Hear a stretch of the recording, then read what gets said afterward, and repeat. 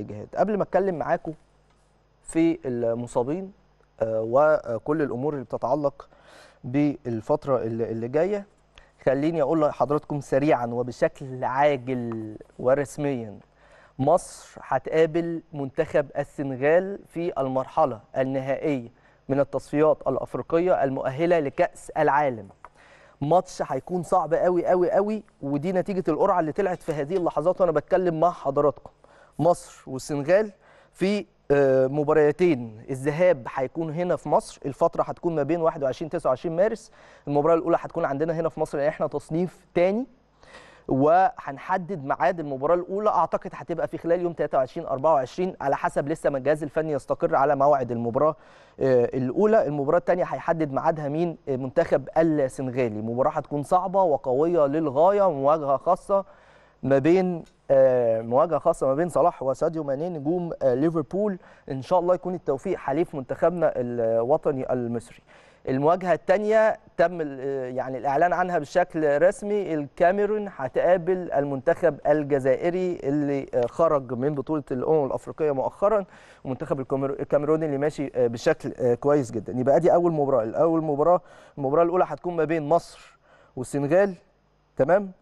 المباراة الثانية اللي تم تحديدها بشكل رسمي خلاص من خلال القرعة اللي بي يعني بي بيسحبها آه، الحاج ديوف طبعا النجم التاريخي للمنتخب السنغالي. المباراه الثانية هتكون ما بين المنتخب الكاميروني والمنتخب الجزائري. يبقى الكاميرون مع الجزائر.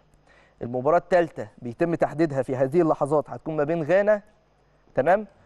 ومين هنشوف دلوقتي؟ وادي بايور طبعا نجم آه، التوجولي الشهير هو اللي آه، بيختار هيقابل غانا هتقابل آه، نيجيريا أيضا مباراة هتبقى قوية جدا. أعتقد نيجيريا فرصها أكبر بكتير بعد المستوى الصعب اللي شفناه المنتخب الغاني في بطولة كأس الأمم الأفريقية.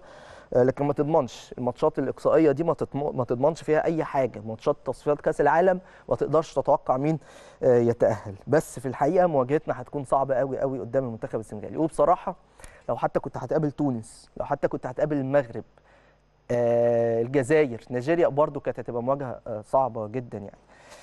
في كل الأحوال إحنا بنتابع مع حضراتكم لحظة بلحظة آخر التطورات الخاصة آه، بالقرعة. هعيد على حضراتكم تاني المواعيد. بالمناسبة القرعة بتقام فين؟ في مدينة آه، دوالا الكاميرونية على هامش بطولة كأس الأمم الأفريقية. وكان في ترقب كبير جدا جدا من القاره السمراء بالكامل بخصوص القرعة آه، دي.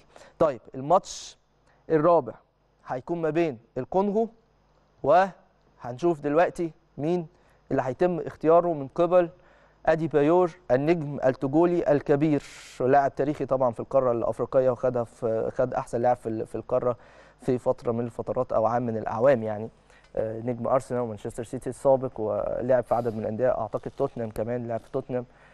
فبالتالي هيقابلوا المغرب. الكونغو مع المغرب أعتقد أعتقد المغرب ضمنت التأهل أو مش ضمنت يعني هيبقى منافسة صعبة. بالتالي ال- المباراة الأخيرة هتكون ما بين تونس ومالي. مباراة قوية جدا جدا على المنتخب التونسي لأن المنتخب المالي برضو منتخب قوي. طيب اذا أقول لحضراتكم بشكل عاجل نتائج ال- القرعة الخاصة بالمرحلة النهائية من تصفيات كأس العالم منتخبنا الوطني بشكل رسمي هيقابل المنتخب السنغالي في مباراة هيتم تحديد ميعادها ما بين يوم 21 مارس القادم ليوم 29 مارس. المباراة الأولى عشان إحنا أصحاب التصنيف الثاني هتبقى على ملعبنا. مباراة الإياب هتكون في آه، ملعب آه، آه، السنغال. فهيتم تحديد المباراة الأولى من خلال المنتخب المصري الأيام الخاصة يعني من 21 لغاية مثلا 23 24 تحدد ال- الميعاد يعني. وده هيختاروا الجهاز الفني. وبعد كده المباراة الثانية المنتخب السنغالي هو اللي هيحدد موعدها. تمام؟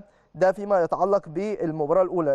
النتيجة الثانية بتاعت القرعة الكاميرون مع الجزائر غانا مع نيجيريا والكونغو مع المغرب وتونس مع مالي. نتمنى الأهم بالنسبة لنا كل التوفيق لمنتخبنا المصري وكل التوفيق لكل المنتخبات العربية في هذه التصفيات. هنروح لفاصل سريع بعدين نرجع آه، نتكلم بتفاصيل عن هذه القرعه يلا بينا.